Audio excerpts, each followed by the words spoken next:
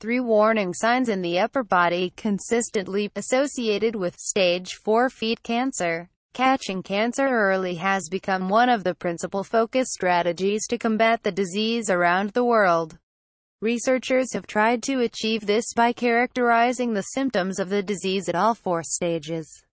According to their research, three symptoms are most consistently associated with stage 4 cancer. In 2020, researchers writing in the medical journal Lancet Oncology analyzed data for 7997 patients to assess cancer symptoms at varying stages of the disease. The target of the study was specifically to examine the link between common symptoms of cancer and the stage of cancer at diagnosis.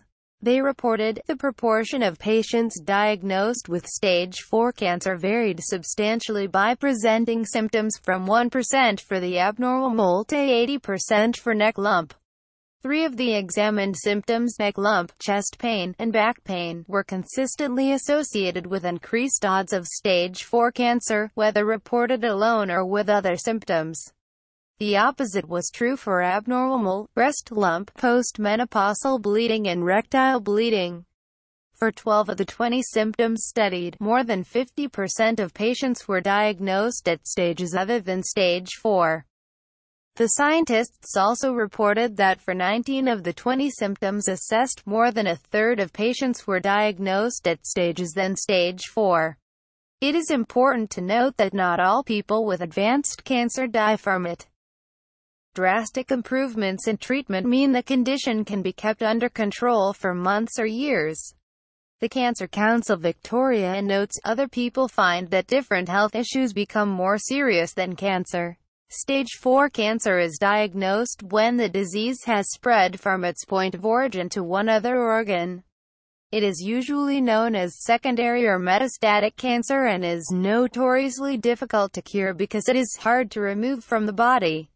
The goal of treatment measures is to improve the quality of life of sufferers and prolong the survival of patients. Treatments like chemotherapy are often dismissed for the treatment of stage 4 cancer, because the risks of the treatment outweigh the benefits. Radiation therapy is deemed the second best alternative as it can shrink tumors and help with symptoms. Immunotherapy, alternatively, can help by boosting the body's natural immune defenses to fight off the disease. An oncologist will usually determine the best treatment option based on the type of cancer, and where it has spread. Although treatments have significantly boosted cancer survival rates, cancer prevention is still widely encouraged. Healthy behaviors to adopt include, eating a diet rich in fruits and vegetables, getting regular physical activity, keeping a healthy weight, using sun protection when outdoors. The Centers for Disease Control and Prevention states, you can reduce your risk of getting cancer by making healthy choices like keeping a healthy weight, avoiding tobacco, and limiting the amount of alcohol you drink.